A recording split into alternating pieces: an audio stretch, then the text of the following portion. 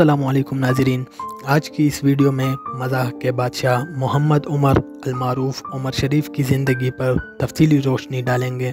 ناظرین محمد عمر المعروف عمر شریف انیس اپریل انیس سو پچپن کو لیاقت آباد، کراچی میں ایک اردو بولنے والے خاندان میں پیدا ہوئے تھے۔ مرحوم پیشورانہ طور پر عمر شریف کے نام سے جانے جاتے تھے، جو پاکستانی اداکار مزاح نگار ہدایت کار پروڈیوسر اور ٹیلی ویژن شخصیت تھے، جن کا شمار بر صغیر کے عظیم مزاح نگاروں میں ہوتا تھا۔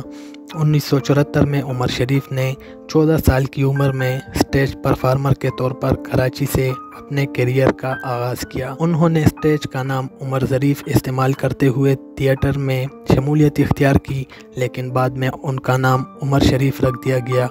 ان کے کچھ انتہائی مشہور مزاحیہ سٹیج ڈرامے انیس سو نواسی کے ہیں، جن کے نام بکرا قسطوں پہ اور بڈا گھر پہ ہے تھے عمر شریف اس دور میں ایک بہت مشہور سٹار بن گئے تھے انہیں زیادہ تر کامیابی اس وقت ملی جب انہوں نے اپنے سٹیج شوز ریکارڈ کرنا شروع کیے، جس میں یسر عید نوسر عید پہلے سٹیج ڈراموں میں شامل تھے۔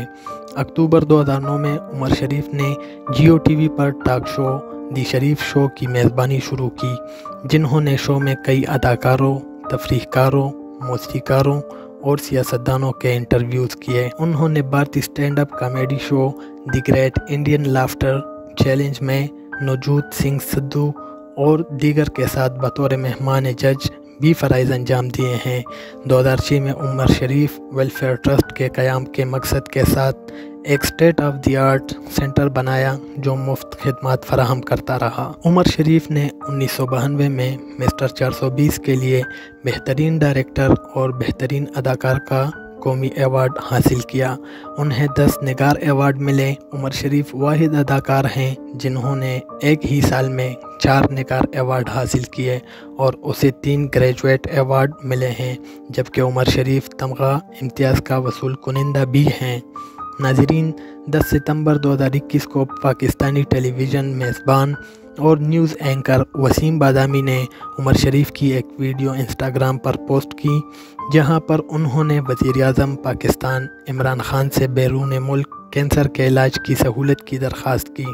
ویڈیو سامنے آنے کے فوراً بعد بھارتی گلوکار دلیر مہندی نے بھی وزیر اعظم عمران خان سے کامیڈین عمر شریف کے فوری علاج کی اپیل کی۔ گیارہ ستمبر دو ہزار اکیس کو حکومت نے ایک میڈیکل بورڈ تشکیل دیا تاکہ یہ فیصلہ کیا جا سکے کہ اسے علاج کے لیے بیرون ملک بھیجا جائے یا نہیں۔ سولہ ستمبر دو ہزار اکیس کو طبی علاج کے لیے امریکہ ویزا دیا گیا۔ اور سندھ حکومت نے عمر شریف کے علاج کے لیے چالیس ملین روپے بھی منظور کیے تاہم وہ آج بروز ہفتہ دو اکتوبر دو ہزار اکیس کو جرمنی میں خالق حقیقی سے جا ملے۔ ناظرین، آپ کو ہماری ویڈیو پسند آئی ہو تو برائے مہربانی ویڈیو کو لائک کریں اور چینل کو سبسکرائب کرنا نہ بھولیں۔ شکریہ۔